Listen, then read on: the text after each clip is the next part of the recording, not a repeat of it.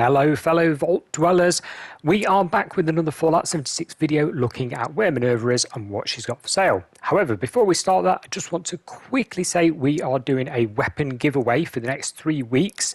This week we're giving away a weapon on Xbox, and it's a fixer, rather nice one.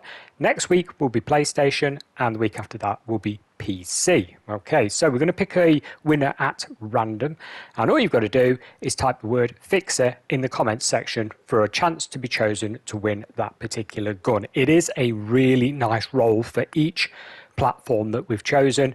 Hopefully, could be you guys. We will let you know who we pick after Minerva leaves on the Thursday of her visit. So she's normally here till Thursday. We'll pick, well, she's normally here till Wednesday. We'll pick on the Thursday and let you guys know who's won. So without further ado, let's carry on, have a look at what she's selling this week. Righto, guys, let's go and see what Minerva has got this time. She's at Atlas, which, if you didn't know, is right here. So there's Atlas. If you're new to the game, right in the middle there, Fort Atlas. And she's here. So there's a guard dude. You want to chat to him if you've not had a chat to him yet.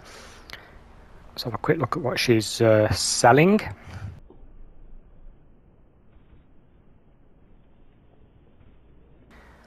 Chinese stealth armor, 3000. Let's have a quick look at that. The Chinese stealth suit. Now, this thing has 140 damage and electric protection, but 1000 radiation protection. It weighs 5 and it costs an awful lot to craft it. Very good for stealth. You can actually move while still invisible, but the helmet is no armor at all. It's just air and water sort of uh, resistant, nothing more. Okay, let's have a look at the Warglaive. Here's the Plasma Warglaive in action. This weighs 9. Looks pretty damn good.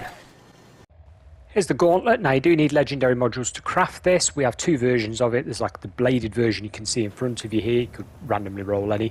And the electric shock gauntlet as well, depending you know which variety you want to do. Plain and simple T65 stealth modification. Crouch down. And yeah, you go invisible. It's as simple as that, but well worth it. And we'll finish this off by looking at another outfit. We always get quizzed on the outfits every single time. So let's have a look at this one. So this is the one off the scoreboard, guys. Um, this one is roughly ranked 55, I believe, and it's the Charmer Blouse outfit. Yep, it's a female outfit, okay. If you've got a female character. Quite a good one, though. It's free, you know, you can earn this in-game for absolutely nothing. You might as well.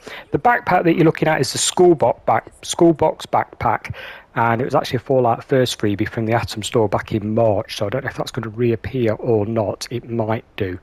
Now there is a matching motorcycle helmet to this outfit, which is not adorned because it looks a little bit over the top if I'm completely honest with you. But yeah, nice outfit guys. There's the boots that match it. Not bad. So, there's Minerva. There's what she's selling. And that's what we think of it. We will catch you again at the same time next week. And don't forget the freebie prize giveaway that we were doing. We will, like I said earlier on, announce a winner to that on Thursday. Thanks for watching. Bye for now.